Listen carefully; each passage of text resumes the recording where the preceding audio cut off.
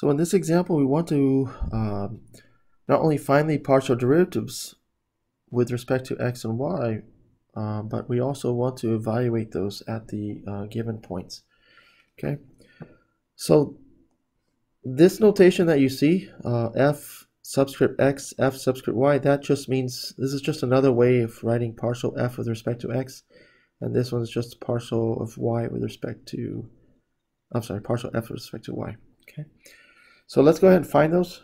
Okay, so um, so remember f, so f x is the same thing as finding the uh, partial f with respect to x. of the square root of x squared minus y squared. Okay, so so remember this algebraically this is the same as x squared minus y squared to the power one half.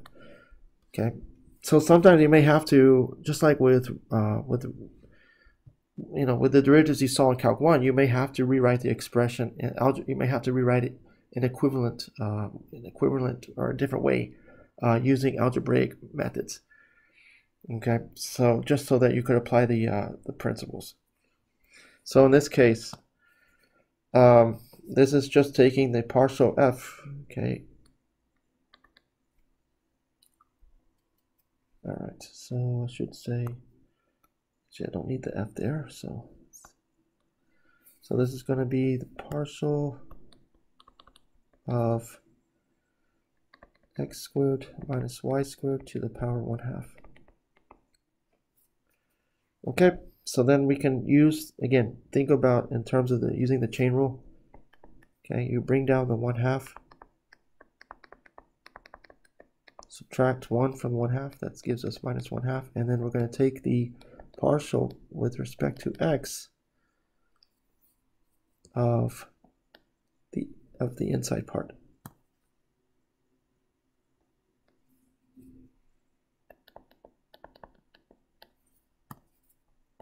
Okay, so this is going to give us 1 half times x squared minus y squared to the power minus 1 half times the partial with respect to x of x squared minus y squared. So in this case, remember, partial, taking the partial with respect to x, you're treating y as constant. So this is going to give us 2x.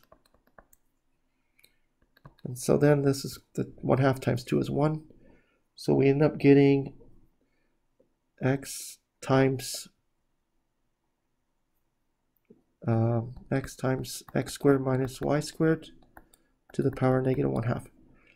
And that is the same as writing it as x over the square root of x squared minus y squared, and then the square root of that. Okay, so this is our partial, this is the partial f, f with respect to x. Okay. So now we need to find the partial f with respect to y. Let's do that down here.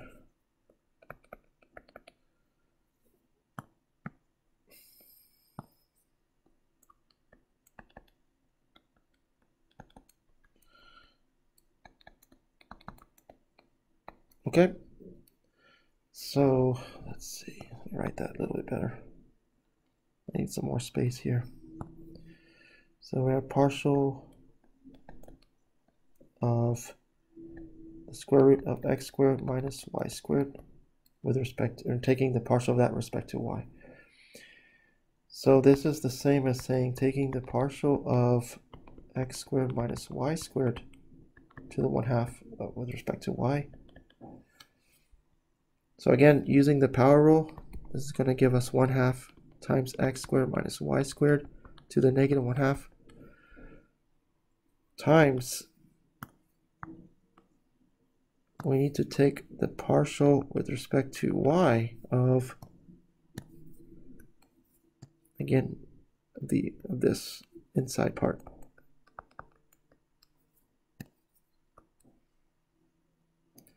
Okay and that's going to give us 1 half times x squared minus y squared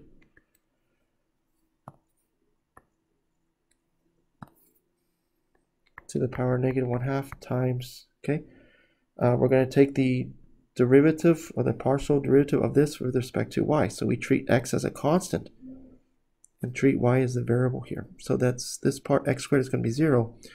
And so from there we're going to get minus 2y. So simplifying this, that we're going to end up getting y divided by the square root of x squared minus y squared.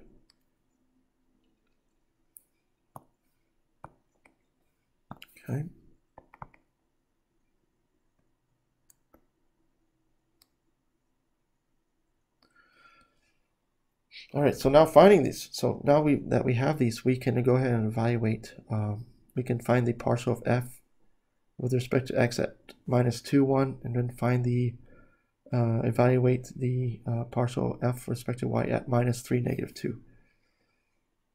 Okay, so for the first one we have f x. We want to evaluate that partial with respect to x at minus 2, 1.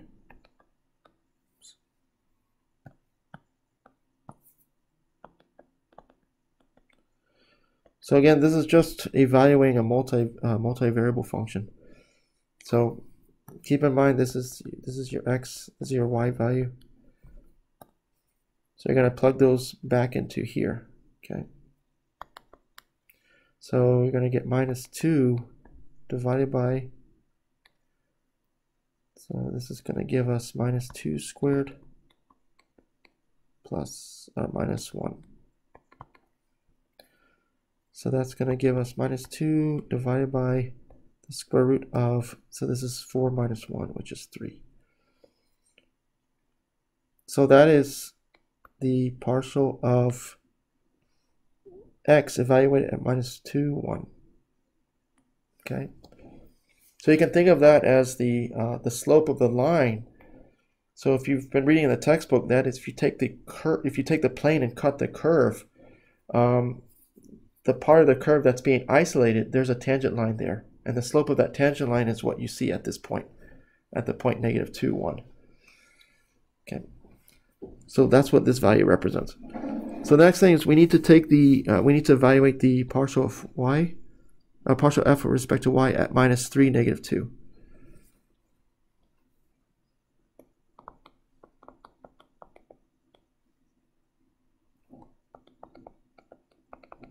So using this result. So again, keeping in mind that this is x, this is y. Get minus 2 divided by square root of minus 3 squared minus negative 2 squared. And so this is going to be minus 2 divided by square root of 9 minus 4 and that's going to give us minus 2 let's see minus 2 over and I think I forgot my negative here let me go and put it back in it's coming from here all right so that's going to be positive here okay so anyway we get so it's positive actually all right yeah so we're going to get 2 it's positive 2. So we're going to get 2 over root 5. Okay.